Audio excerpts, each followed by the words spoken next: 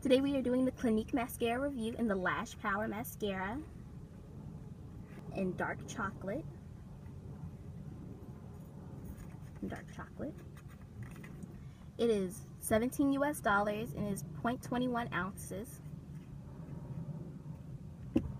And it is a good substitute for the Clinique So Glossy Naturally Natural Mascara in dark brown, I want to say.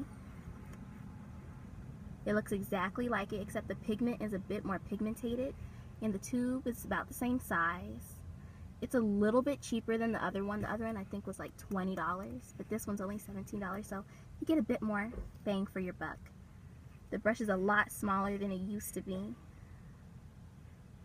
and it fits in my hands pretty well. My hands are pretty small but it fits in my hands pretty well.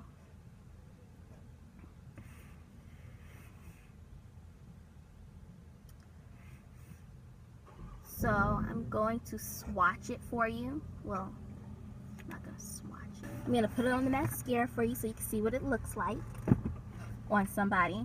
Now I know a lot of people don't really use brown mascara if they're African American because I had trouble having somebody find it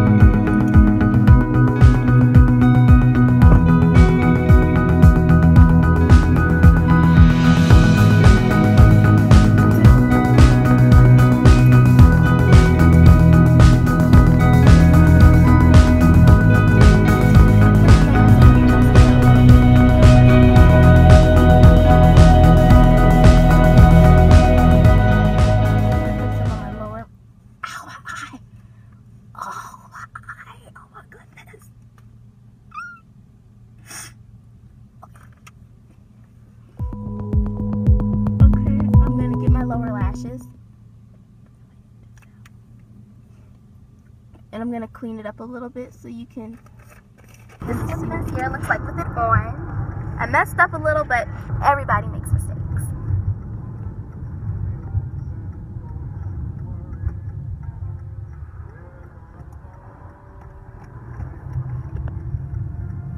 So that's what it looks like with it on. It's naturally defined your eyelashes. It's nothing too crazy if you don't like brown black. And if you don't like black this is a good alternative so if you like it, I suggest you get it. Tell me how it looks if you like it. And have a glitterific.